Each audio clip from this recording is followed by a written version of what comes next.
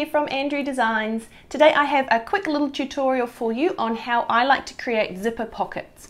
So throughout the tutorial I'm going to show you how to draw the box on your zipper pocket piece, how to attach it to its corresponding bag panel, how to turn that through to create the box and get a really nice rolled out seam, how to install the zipper, and then how to attach the remaining zipper pocket piece to create your entire pocket. So it's nice and quick and easy. Let's get started. To create a zipper pocket, such as the ones included in the Creatives Tote, this is the general process that I use. Bear in mind that the instructions and measurements will vary depending on what pattern you're using. So this is just specific to the Creatives Tote, however the process and the steps are very similar across my range of patterns. So to start, you're going to take one of your zipper pocket pieces and you're going to flip it over so that you are looking at the wrong side or the interfaced side of the piece. Make sure you have it orientated so that the top of the fabric is at the top and that will be typically one of the long sides. Because I'm using fabric that's not directional, it doesn't matter. However, if you do have directional fabric, make sure that it is orientated the correct way so the top is at the top. From there, we're going to measure down one inch and we're going to draw a line almost all the way across. The easiest way to do that is to use my rotary ruler. I'm just going to line it up on the panel at the one inch mark. I'm going to take my tailor's chalk and I'm just going to rule a line almost all the way across. From there, I'm actually just going to rotate it because I find it easier to measure working in this direction rather than top down. And I'm going to rule a second line a quarter inch on from that line we just drew. So it'll be one and a quarter inches up from that raw edge. And again, almost all the way across. It doesn't need to be the whole distance. And finally, we're going to do a third line, again, a quarter of an inch up, making it a total of one and a half inches up from the raw edge. So at this point, you should have three lines almost all the way across and a quarter inch apart. From here, we're going to draw the vertical lines which will close off our box and that is what we're going to stitch to create the hole and the entry for our pocket. So for this particular pocket, the width of the box needs to be a total of nine inches wide. So in order to do that and to make sure it is centered, I'm just going to fold and mark the center of this panel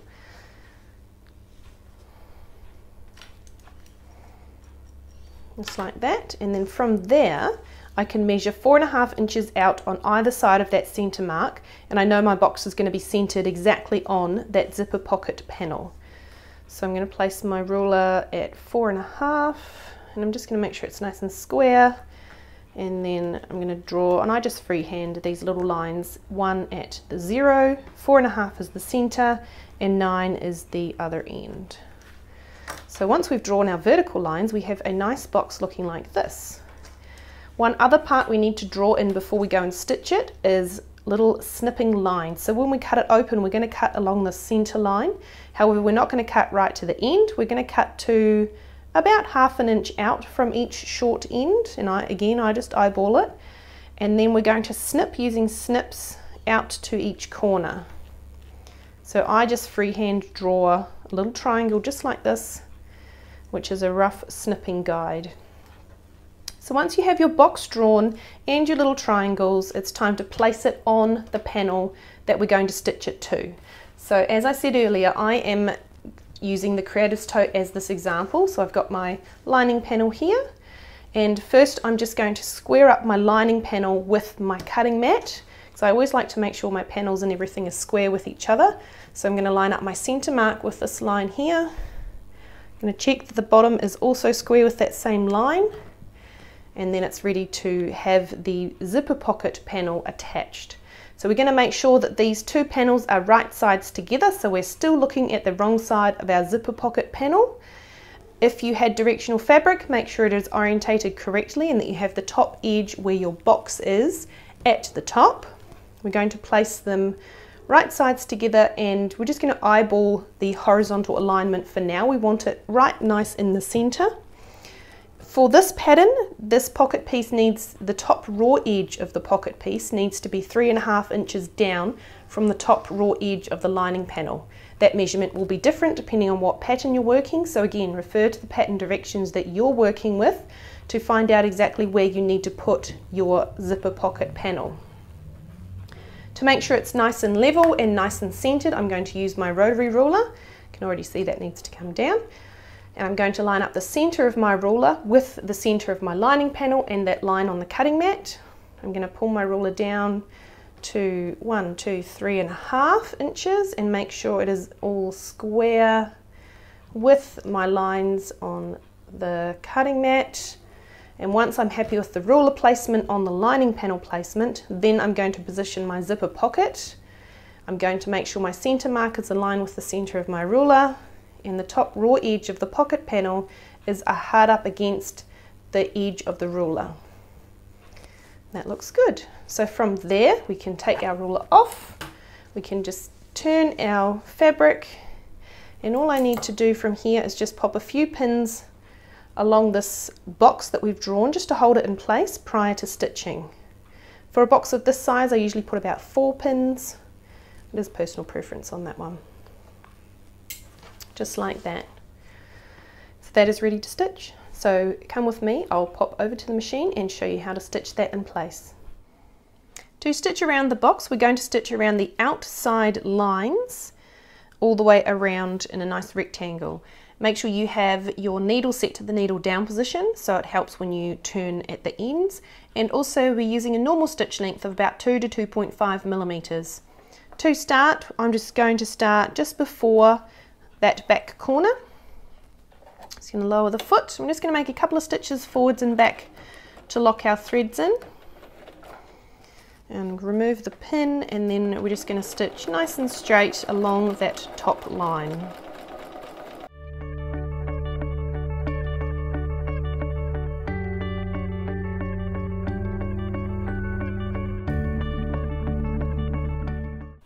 When we get to this first corner, we're going to stitch right into it.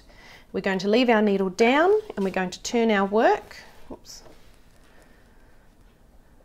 And then we're going to stitch down this first short side of the box.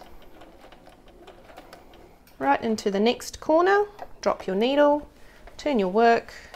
In my case, I need to fold my panel up, drop your foot and stitch along the bottom edge.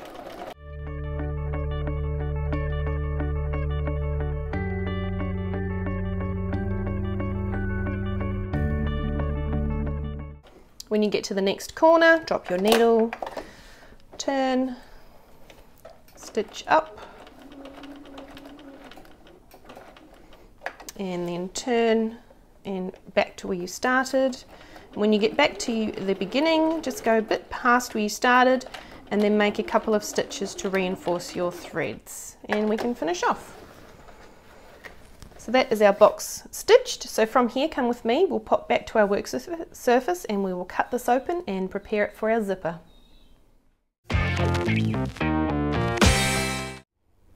So now that our first zipper pocket panel is attached, we need to cut our box open. So I like to do this with my rotary and my ruler. However, if you prefer, you're welcome to use scissors. Just remember we're cutting from this inner point here along the center line to this inner point here. So I like to just turn my work sideways, place my ruler down the center of the box, and I just eyeball where to start, cut through, cut along, and eyeball where to stop. And that's pretty good. So from there, I take my little snips and working on one end at a time, I just snip. So I've missed my pencil line, but that doesn't matter because I'm still a good distance from the stitching on the side, so that's fine. I'm just going to snip out to the corner as close as I can get to the corner without cutting the stitching. And I'm going to do that going down as well. Then I'm going to turn and repeat that at the other end.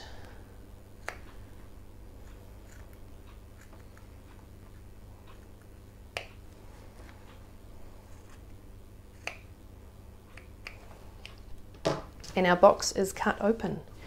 So come with me, we're going to head to our pressing station and I'll show you how I like to press these seams so that they're really rolled nice and flat and they give a really good finish. So to press the seams of the zipper pocket nice and flat, I actually like to do it in two stages.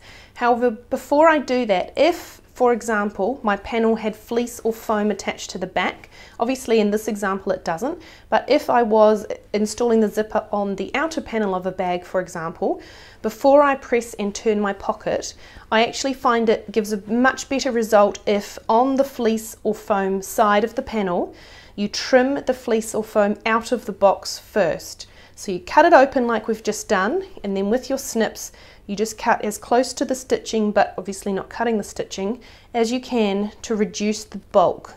That gives a much flatter, tidier pocket. So it's just a little tip there, food for thought. You don't have to take that on board if you don't want to, but I've found it gives a really good result. To press the panel, first I take the bottom of the zipper pocket and I just feed it through the hole. And then with my iron, I make sure that back seam is also pointing up still and I give that bottom seam a good press. From here, I just tuck the top through so that the bottom sits flatter, so that it's essentially all turned through. But then I tuck the bottom of the pocket down Still working on that bottom seam, we've just moved the top out of the way essentially. And then I roll the seam out along the bottom and give it a good press. So essentially pressing it halfway and then all the way around. Much easier to roll the seam out that way and get a really nice flat seam. From there we're just going to repeat the same for the top. So press, press the top through and you can almost kind of finger press it to get it started and then give it a good press with the iron. Then turn your panel over, fold that up, roll it out and give it a press.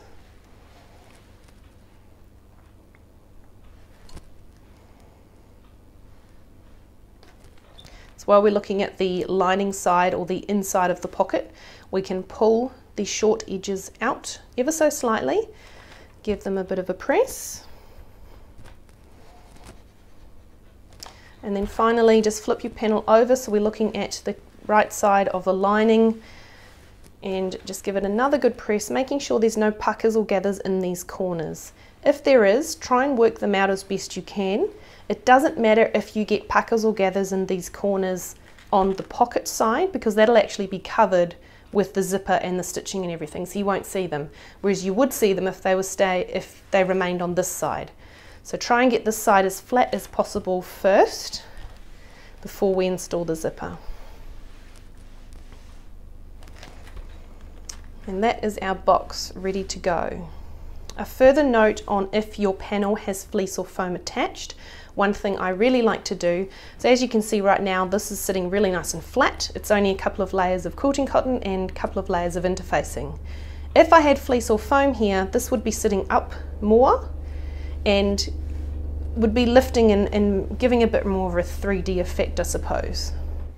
So because of the extra thickness added from fleece or foam, what I often do is I will glue, temporarily glue these panels down to hold them nice and flat prior to installing the zipper.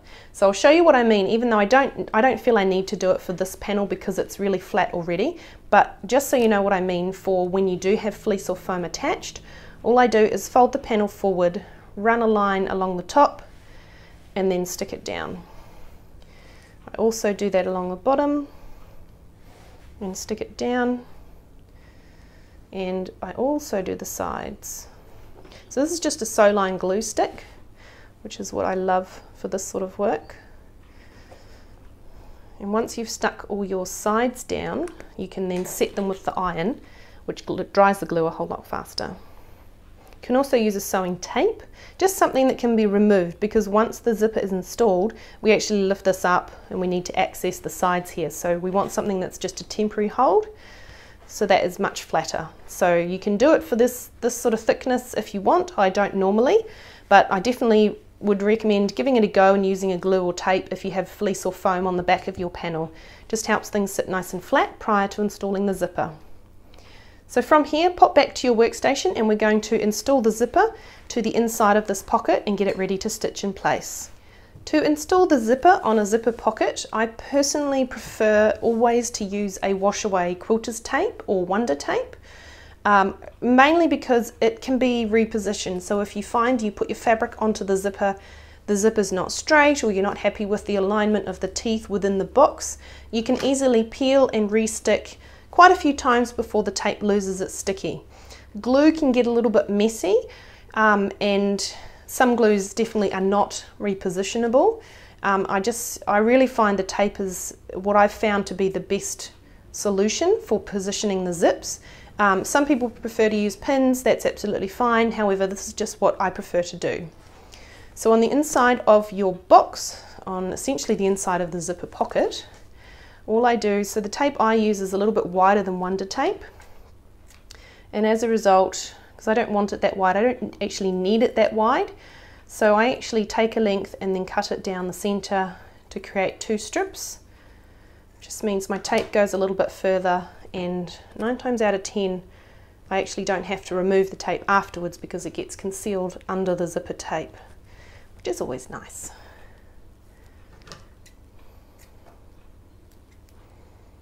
So we're just going to go ahead and place tape all around the edge of the box.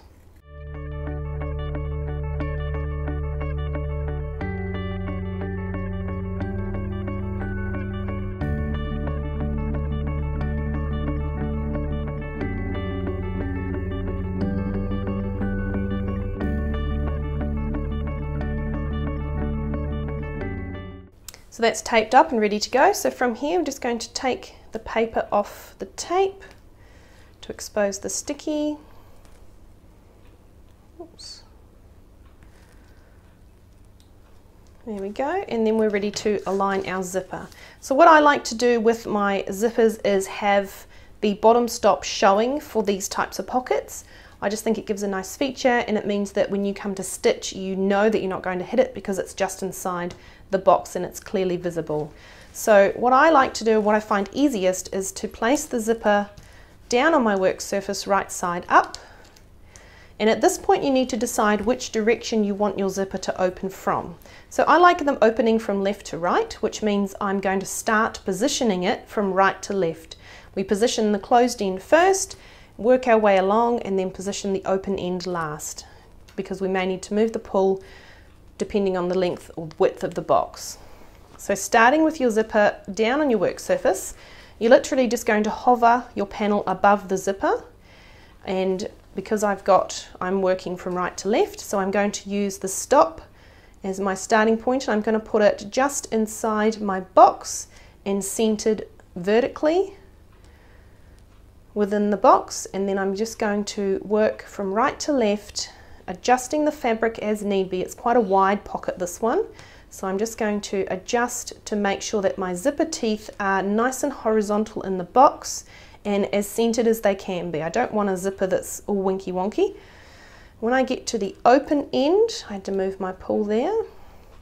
Again, I'm just going to make sure that my teeth are still nice and centered and that when my pull is right up closed, as it would be once the zip is done, that it looks really nice and central. That actually looks really good.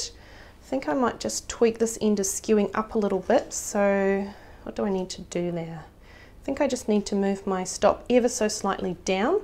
So I'm just going to peel it back, straighten it up, and stick it back down. There we go. So that looks really good. I'm quite happy with that. Just push it down a bit there. That's the beauty of tape is you can lift and reposition your fabric quite a few times. You can be as fussy as you like to. Once you've got your zipper in place and you're happy with its alignment, just work your way around and really stick it to the tape so you know it's held in place. You can double check on the back that everything's nice and flat.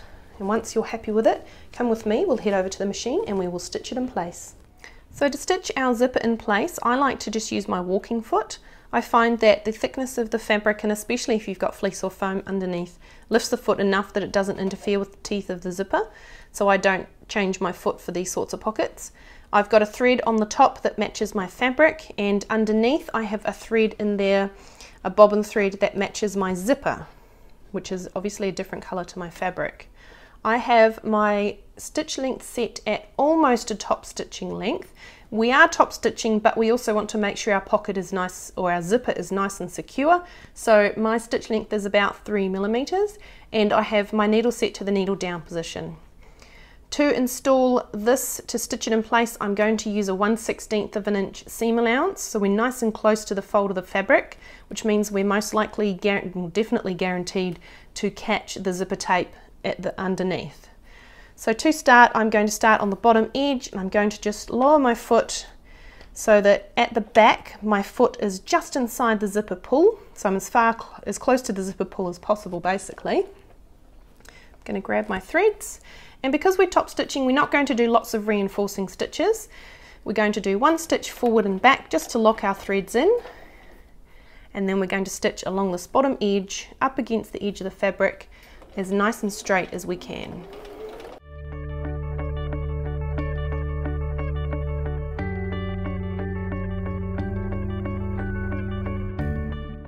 So when we get to this first short edge, we're going to go one stitch past that end we're going to keep our needle down and we're going to rotate our work so we're ready to stitch up that first short edge of the box. Drop your foot and we're going to stitch up and over the zipper all the way to one stitch past that top edge of the box. From here, lock reverse in. We're going to stitch all the way back down to where we just came from. Take reverse off and then stitch back to the top again. So each short end will have three passes just to make sure the teeth are really well locked in place. Once you're at this next top edge, keep your needle down, lift your foot and rotate your work. And if need be, if you're like me, you'll need to sort of fold your panel to make things a bit tidier and manageable. Drop your foot and we're going to stitch along the top of the box now.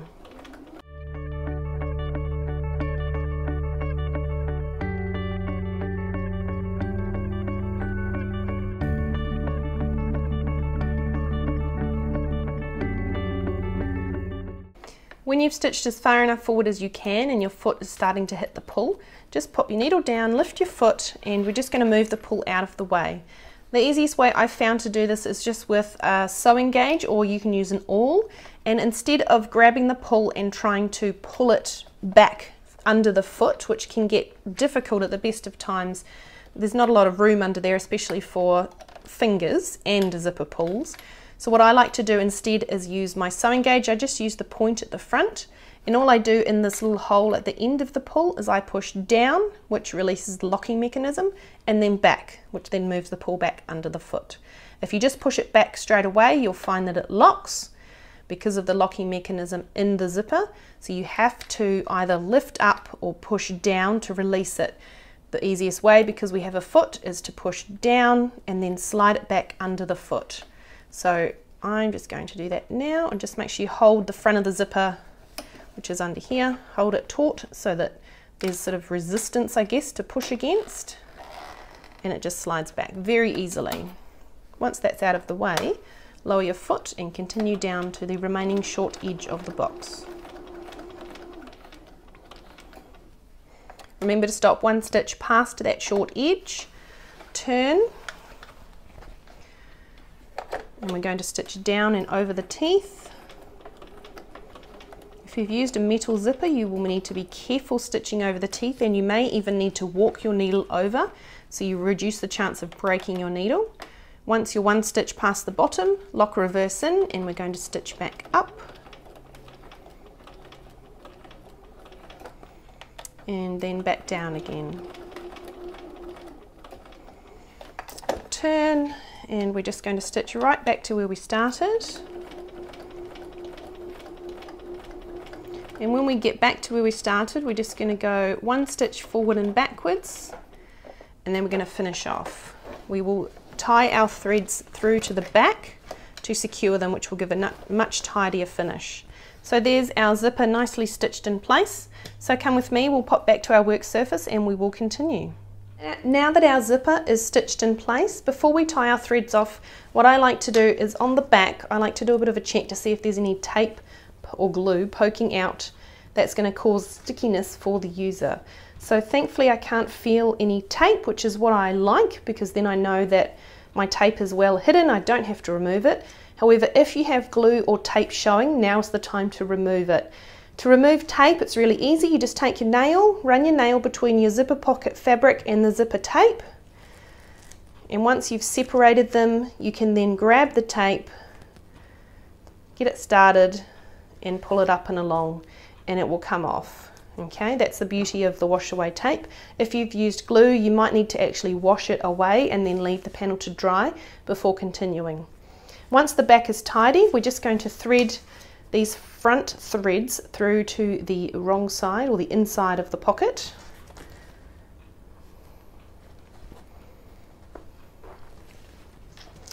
And tie a simple reef knot to secure them.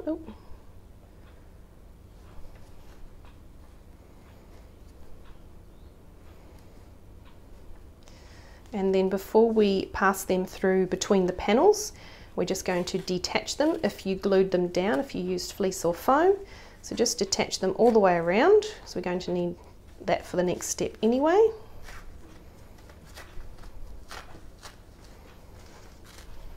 There we go. And then once you've done the knot in your threads we can pass these threads through to the wrong side Where's my needle? There.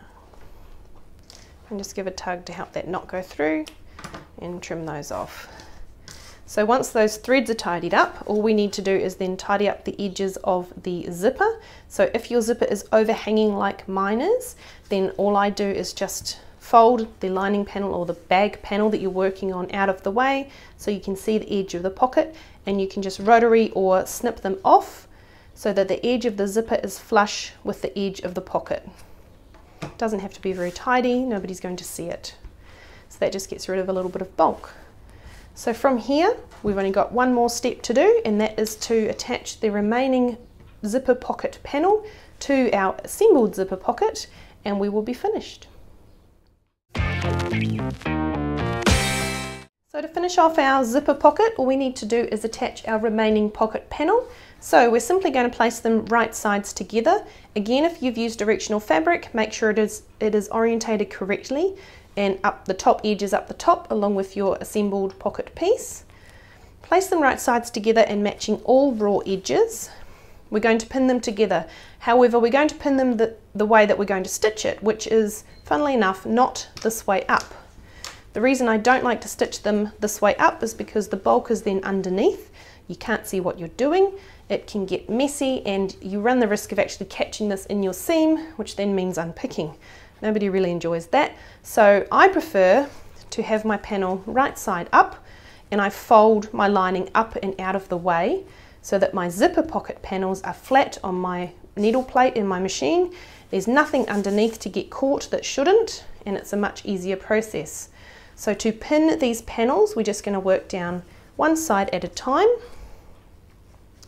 and of a pocket this size, you probably only need about three pins in it. The fabric kind of just holds itself together on its own.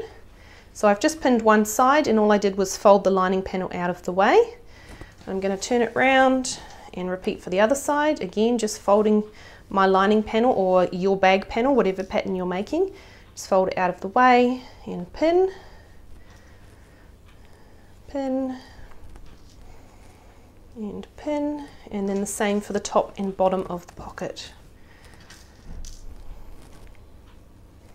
So one there and there and fold that down and pin the top as well.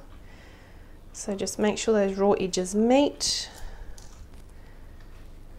Just poke that through so it doesn't hit where the zip oh, is joined. And where'd my pin go there? This one. So our zipper pocket is pinned all the way around.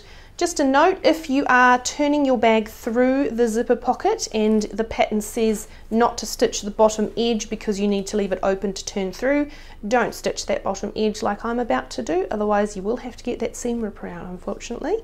So from here, come with me, we'll head over to the machine and we will stitch this pocket and then we will be finished. So to stitch the back of the zipper pocket in place, make sure that your bag panel is right side up so that your zipper pocket pieces are underneath. And all we're going to do to start is fold that bag panel out of the way. Make sure you have a normal stitch length set of about 2 to 2.5 millimeters, your needle set to the needle down position, and we're going to stitch with a seam allowance of half an inch. We're going to start in the bottom left hand corner, which is why my panel is upside down and that means that if you have to leave the bottom open to turn through, when we get to that bottom right corner you can simply stop there and not stitch across the bottom like we're going to. Just going to place my fabric under my foot. I'm just going to start from the very start of the fabric just because I can. I'm going to hold my tails and make a few stitches forward and backwards to reinforce and then we're just going to stitch up that first side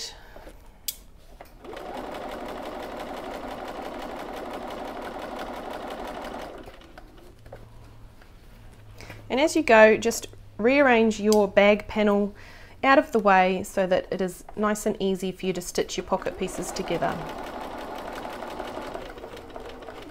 As you come up to your zipper teeth, just go nice and steady over those, just in case, especially if you've used a metal zipper. And then we're going to stop half an inch-ish, it's very approximate, from that um, top or close most raw edge of the fabric and we're going to turn. Drop your foot, rearrange your bag panel so it is out of the way now for this edge of the pocket and stitch.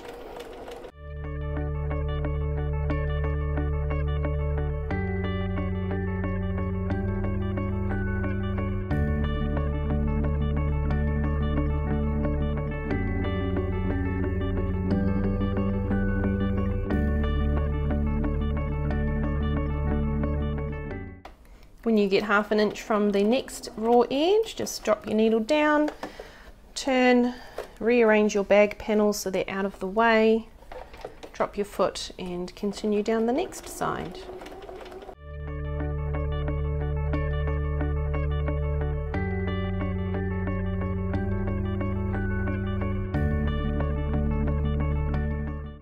So when we get close to this bottom edge, this is the bottom of the pocket. So if you are turning your bag through this pocket, you will stitch right to the edge of the fabric, reinforce your stitches and finish off. You will leave the bottom edge of the pocket open. However, we're not doing that with this pocket. We are literally closing it up to create one complete pocket. So I'm just going to turn and stitch across the bottom edge to finish